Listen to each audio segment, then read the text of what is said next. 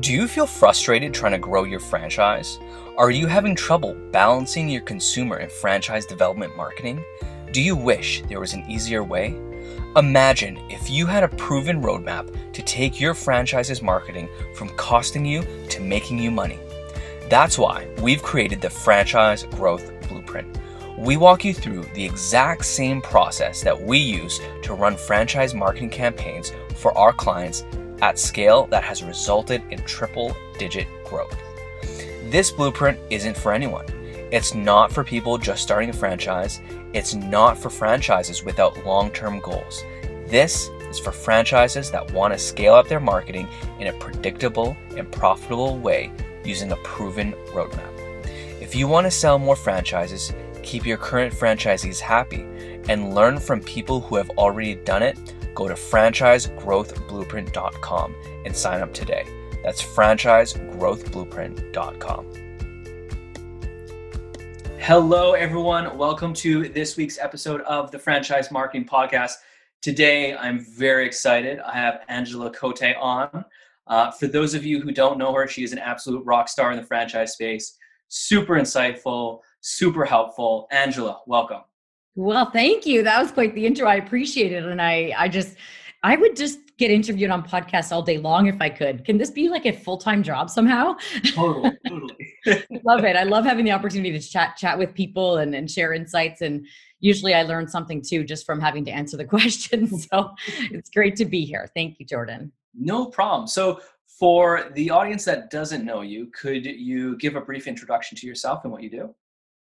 Yeah, sure. So my my world of franchising goes all the way back to 1980. Don't worry, I'll keep this as short as I can. But um, I grew up with the brand M&M uh, meat shops, which is now rebranded to M&M Food Market in Canada. Um, we grew to almost 500 locations over the years. So whether I liked it or not, I was learning about franchising and, and taking it all in. I dressed up as Kelly Kebab at grand openings. You've maybe heard of that. um, and uh, learned probably the most about, about franchising when I was um, in my early 20s, I was running around in the field helping franchise franchisees, um, you know, showing up, female uh, young boss's daughter, trying to get these older male franchisees to listen to me. And you can only imagine how well that went over. So uh, it's actually an area of passion of mine is, you know, fran- uh, franchisee relations and that. And I think it really stems from that time of a few years where I was in that in that role um, and uh, spent 18 years also as a multi-unit franchisee so um, having lived and breathed in the, in the on the franchisee side has really helped me also get you know more perspective on on what's needed for for franchise franchisees and franchisors to really optimize you know profitability and so um, did you want me to go into what I do now, or are we just doing background? no, please, please, uh, you know, uh, share what okay. you do now. Yeah, so I'll segue that into uh, so what I do now as of uh, the past about five years is, uh, and it happened sort of organically that I was um, trying to kind of figure out something new to do in my life and was seriously thinking about like maybe nothing to do with franchising, nothing to do with retail. You know, I need a different different thing. And, and in, in my networking, I stumbled across people who were like, "Wait a minute, you come from the M&M meat shops. And for any of your American listeners that you know don't know, M&M became a, an iconic Canadian brand. So people in Canada would be like, "Wait, did you say M&M?" I'm like, "Yeah," and they're like, "Oh, I'm I'm trying to franchise my business. Would you go for coffee?"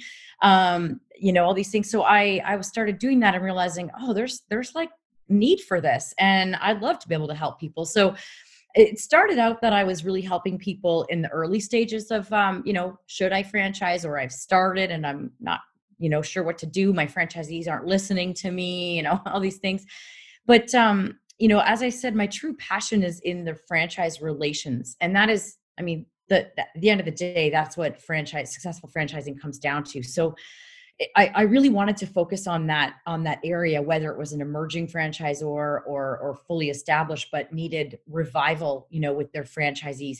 So that's that's really my passion area. But I do have I've built up a team and we do help people work or go through the early stages if they're trying to figure out if and how. Um, we help people with understanding better, uh, you know, how to find their first few franchisees. um, and then also you know getting in there and in various ways whether it's talking directly with their franchisees and finding out why they're not compliant to the system what what's going on how do you feel about this what's you know what needs to change and, and getting in there and trying to trying to fix things so that's using that background from kelly kebab to uh, franchise growth catalyst that's that's what i do. Wow wow. A, a ton of you have a ton of insight. So you know working with franchises on a day-to-day basis what are you know let's say three of the biggest mistakes that you see them making just consistently? Yeah well let's okay so we'll keep it to like emerging sort of more early stage i think here right? Um yeah because we could also do the we could do a follow-up when we talk about the mistakes that the established ones make if you want as well um, because it's easy when you're on the outside right to see these things and that's the thing about um, you know getting outside help and and you know, I listened to a few of your podcasts, which were great, and especially loved Kurt Belding and how he said one of the biggest things he would have done different is he would have got help early on instead of the Wild West, you know? And so, um, you know, yeah, so that segues into actually one of the things that I see early on is that franchisors they get they you know they realize oh my gosh they didn't realize they were actually starting a whole new business when they franchise. Mm-hmm. And they were really good at you know running a salon or running a fitness business or whatever their business is and they don't actually have maybe the leadership skills or the skills to be a franchisor. And because this is also new they really start to doubt themselves and they start to listen to people that they otherwise wouldn't necessarily have listened to and so you know they then they start to spend their money in the wrong places and things and um, one of the things that I see that just breaks my heart the most is they get put into what I call the franchise factory.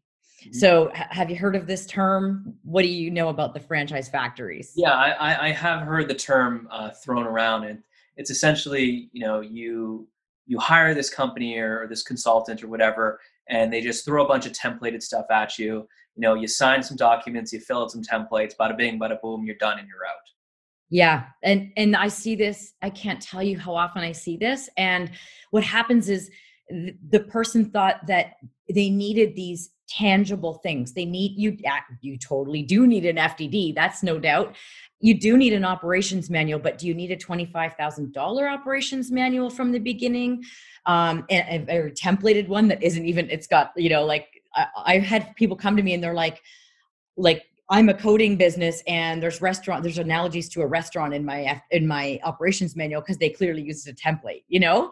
Mm-hmm. Um so they they the franchisor feels like, "Oh, this is what I need. I need these tangible documents." But they what they don't realize is what they need most is to really be thinking about like they need to step back. Like this is the takeaway I would give people for this topic of, you know, doubt that they have they, is to step back and and check your gut on what the like you're a good business person you've you've figured out a business model and you start to doubt yourself step back and go do i trust this? Vet vet vet vet the person. Like vet the company that you're going to work with. Whether it's me or someone else really look at their background talk to their other clients and and get a sense. So um, i'm really trying to help keep people out of the franchise factories because mm-hmm. i don't believe that that you know I, I believe that people are spending more money than they need to at the wrong time. You know like let's get an operations manual but let's just kind of get the the kind of the bare minimum of what we need to make sure that the franchisee is following the system mm-hmm.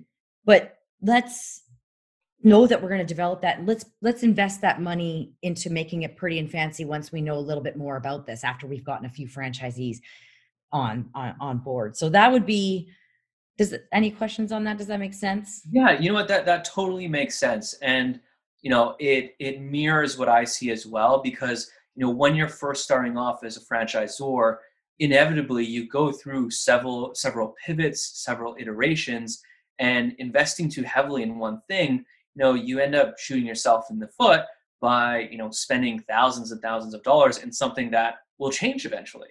Mm-hmm. And even and not to you know i love digital marketing but you know i don't what what one of the things i see people do out of order is they might not even have a clear website or they're not clear on what's what sets them apart and they go drop 10 like $10,000 a month trying to get leads mm-hmm. well then they end up not knowing how to deal with these leads and wasting money there so i think you know i think so the yeah the number one uh, key point i was making there is is uh, trust your gut a little more and and slow things down on that just to think about it a little bit more and that's where getting yeah getting help like Kurt Belding had said there on that podcast, like find someone that you trust and, and get that help. So that's that's one of not the top one, but it's one of the big mistakes. Totally, totally. I like it. So so what's that second mistake that you Okay, see? so another one um that I got asked this actually, uh, I'm not sure if you were at the Springboard uh, virtual conference the other day. I, I, was not. I didn't. well, let's shout out to these guys because any of your your uh, listeners should know about Spring the Springboard Emerging Franchisor Conference, and it'll be next year in September, hopefully in person in Philadelphia. Highly recommend it. Uh, it was virtual this year. They did their best to make it fun and whatever, considering. Um, but I was asked in one of the mentor pods, like, what do you think is the biggest mistake, or what would be the one thing that you would tell, you know, uh, a franchisor to do right? And that is getting the right franchisee. And I know everyone says this, and people are like, well, that's obvious, you know, but how? And mm-hmm. so, what I tell people on this, this is the takeaway on it, is that there are some key traits of a high performing franchisee regardless of the brand. And actually um, i'm happy to make that I, it's a resource that people can easily get on my website or we can make it uh, available directly through you. Yep. and i call it the dna of a high performing franchisee. So there's 10 traits. And i won't go through them because people can check that out but it's the, it's things like um, le- uh, having a little bit of leadership skills you know being able to lead a team most franchise businesses are small business and now you've got entry level staff and if you've never done that before it's a different ballgame yep. so there's the, the dna that i believe is foundational and then there's the DNA that relates to your brand. So different brands, fitness brand is going to probably find somebody who has some uh, love for fitness and that sort of thing. Mm-hmm. So I think that yeah, the the the finding the right people it's uh it, it's just so expensive not just financially but on your your mental energy and your draining of resources when you don't have the right franchisee. When you get the right franchisee everything is so much easier and your franchisees become ambassadors of the brand and and like the number one driver of franchise company growth overall is happy profitable franchisees and the only way they're going to be that way is if they're the right fit. Mm-hmm. So I can't emphasize enough. So that, so get clear. And if you're going, I don't know how to know that, start with looking at the DNA thing that I'm talking about here, the resource. Maybe is it possible to make that somehow available? Yeah, yeah, we'll we'll add that in the show notes for sure. Yeah, and they can certainly just people can even just email me at angela at angelacote.com. We'll do that at the end. But um, get clear on that and then think about what traits seem to be important. And and also you can study the founder, like the founder, study yourself. If you're the founder and you don't have a franchisee yet, what drove you to start this? And like kind of look at those traits. So getting the right franchisee. So that's number two. Um, and then a third one, and, and there's so many different things we could talk about here, but I I'm picking these ones for today. It's, it sort of changes depending on the problems I'm seeing at the time. Um, but the third one I would say, and it kind of relates to the first point about about doubting yourself, is I think franchisors, and I feel I feel not just think, I feel strongly that franchisors that are very early on should do their own franchise recruitment, taking mm-hmm. franchisees through the recruitment process. Back to the doubt thing. What happens is they think, I don't know how to do franchise sales and they go to these conferences and they or now virtual and they are they're hearing all these things oh you know it's a big thing to do and it is it is but you know oh you need to get the right person in that you know franchise sales role and all that well i believe it's super valuable for the very early stage franchisor to know how to do it mm-hmm. um, to take people through the process and and get someone help hire someone to help teach you how to do that. There's lots of people out there like something i do of course but there's other people out there to coach you on how to do it and how to look for red flags. When do you show the fdd when do you uh, how do you run a discovery day? How do you run a virtual discovery day? How do you optimize that these days? But get someone to coach you on that so that you because you will learn so much about your candidates and about what you're looking for by sitting down over and over and having these conversations. Mm-hmm. and I find, and um, you know, I think you mentioned you've had Ruth, one of my amazing clients, Ruth like Badgie, on uh, one of your podcasts. I don't know if it, by the time this goes out, if that'll be out, but uh, from Code Wiz, she's a perfect example. She's an introvert, and she's like, I don't like franchise sales, and I'm like, I'm going to help you. And so we've been working, and you know, I get on calls with her if she wants, but she's totally confident now to do the process um, to ask the right questions and and to keep people you know engaged and and because it, it's not sales it's it's it's vetting it's it's checking if we're aligned. If if i'd rather tell the person you know you mentioned you really don't like dealing with entry level staff. You're going to hate this and you are not it's going to be really hard for you to be profitable. Wouldn't you rather me tell you that at the beginning? So yeah so i really i think it's super valuable for a emerging franchisor they they so often farm it out and then they get misfit franchisees mm-hmm. so mm-hmm. whether i mean if you do want to farm it out be very involved you know if you don't want to be responsible but even then i just think it's really good to start to understand at what point you know when do you disclose the fdd what how do you handle the disclosure that you know when the questions how do you handle those tough questions? You're going to learn so much like a lot of franchisors get to 10 units and they outsource it and they don't even really know their fdd and now they mm-hmm. don't know how to guide their franchisees that they have in the system you know to stay compliant to that.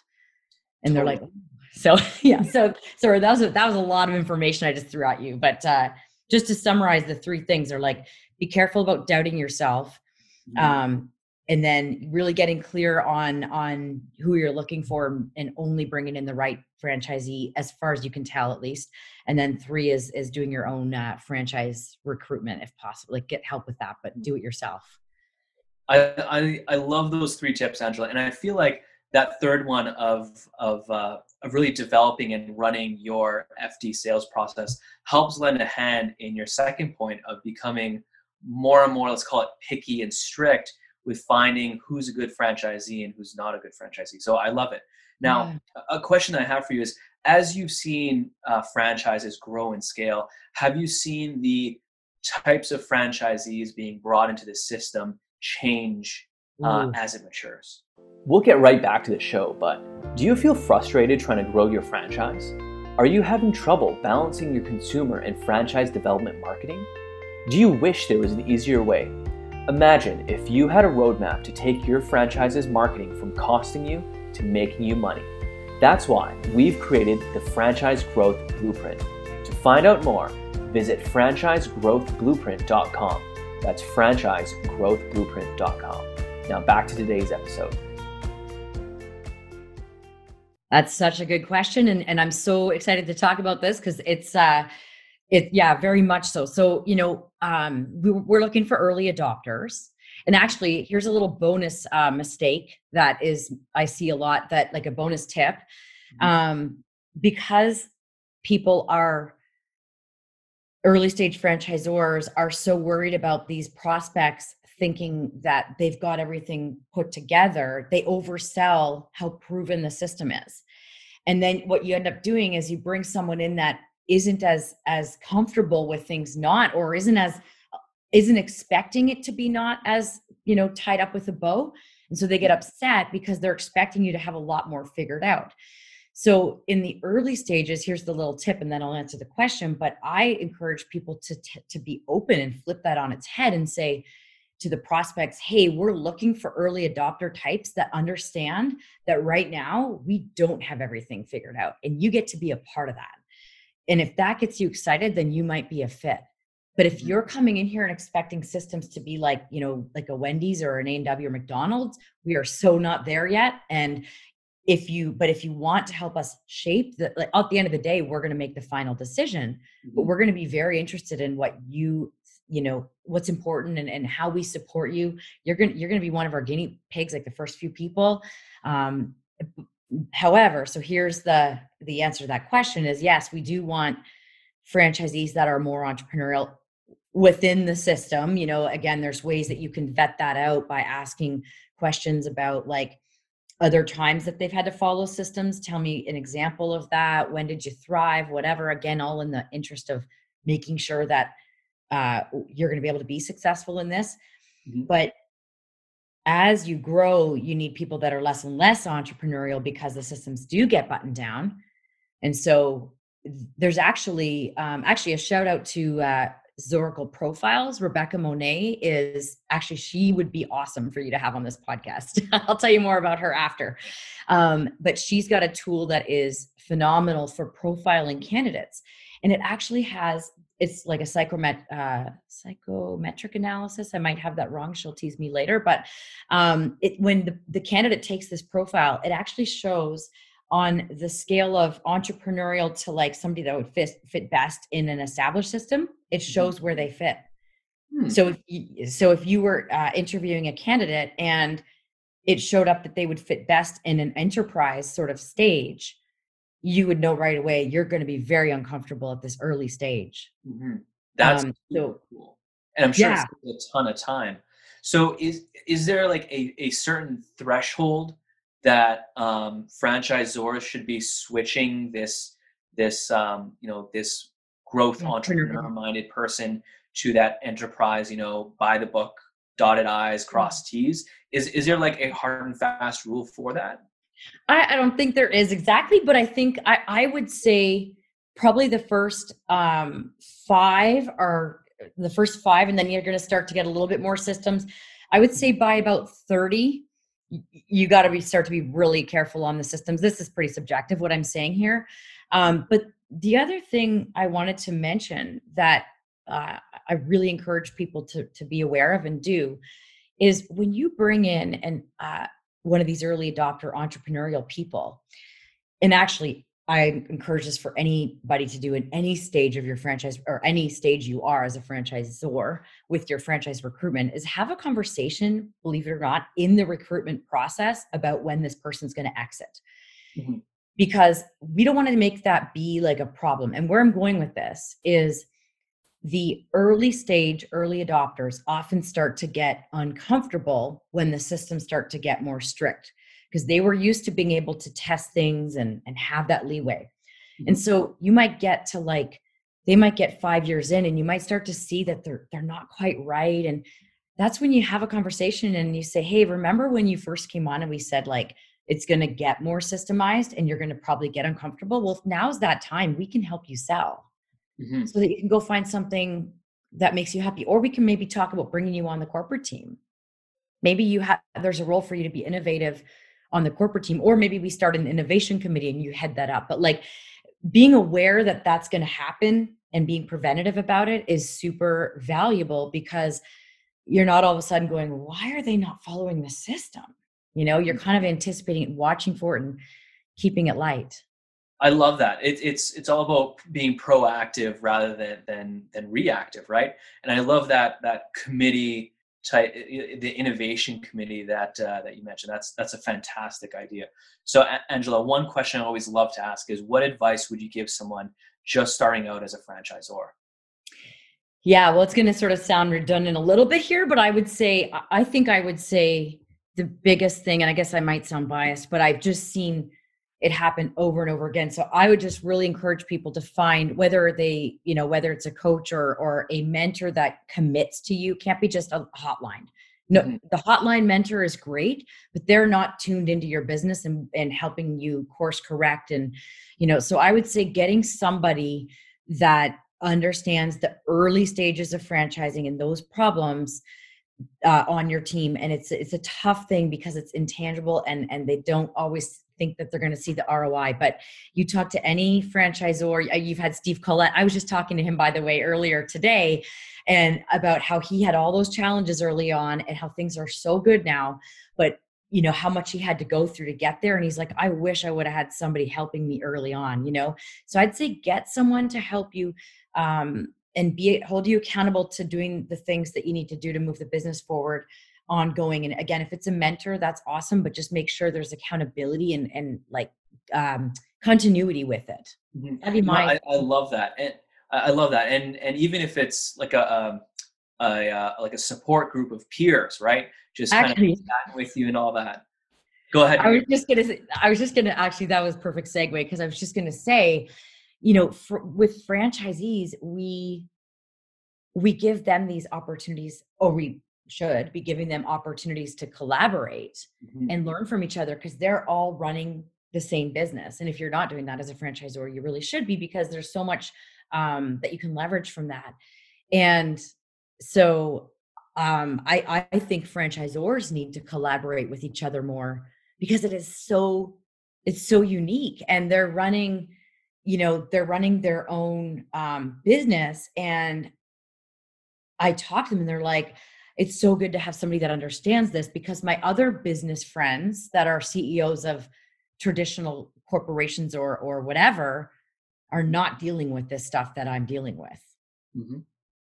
yeah so yeah totally i love it i love it and, and you run the uh, the play bigger groups as well which is which, yes. from my understanding it's kind of similar right yeah, absolutely. So this for this exact reason, and actually another we have all the same contacts. I was gonna say another person that you know, of course, is Robert Bruski. Shout out to him, Control V.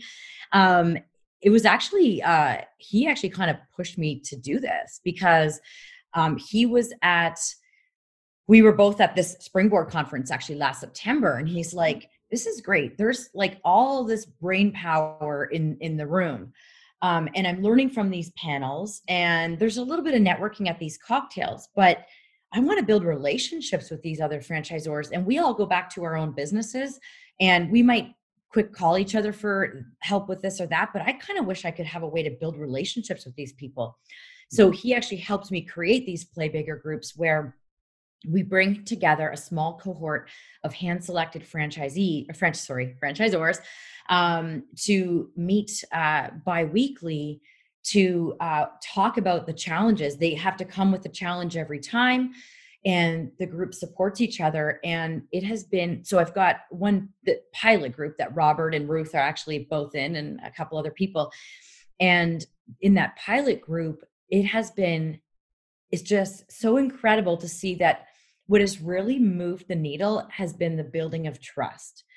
Anybody can run a mastermind where you just open up your books and start like picking away at yo you should do this you should do that.